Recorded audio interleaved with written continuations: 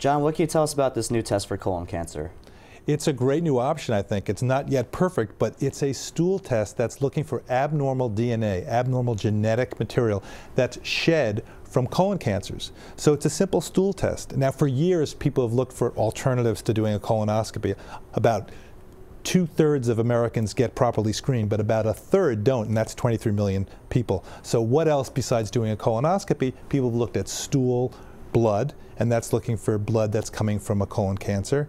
Um, and there are some problems with that. And now the latest one is looking at this abnormal DNA. And in the latest study, it was able to detect 92 percent of colon cancers, which is pretty good. Is that as good as a colonoscopy? You're a gastroenterologist. It's, it's in around the same territory. The problem, though, is the false positives. About 10% of the time, the person had an abnormal DNA test in the stool, but the colonoscopy was normal. And I can tell you as a gastroenterologist, that's going to be a big problem because if the test says there's a colon cancer, it doesn't tell me where in the colon it is. So I'm going up there, I'm winding up the colon, I'm looking for this cancer, it's not there, and that's going to be highly stressful. So clearly they're going to have to perfect perfect this test a little bit more. They're going to have to improve on it to make sure there aren't so many false positives.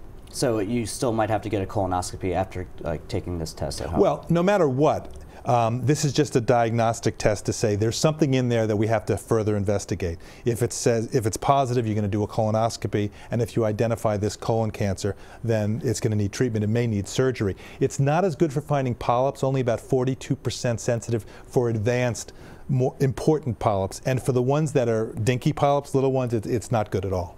Could I get this test yet? Is it out on the market? It's not out on the market yet. The FDA is going to be looking at it shortly. And there are still some things to be refined. There are too many false positives right now, and that should get better as they figure out how to make the test better. And then eventually, though, I think you're going to see this as one of the options to pick up colon cancer, advanced colon polyps, and to stop people from dying from this terrible disease. Thank you, Dr. LaPook.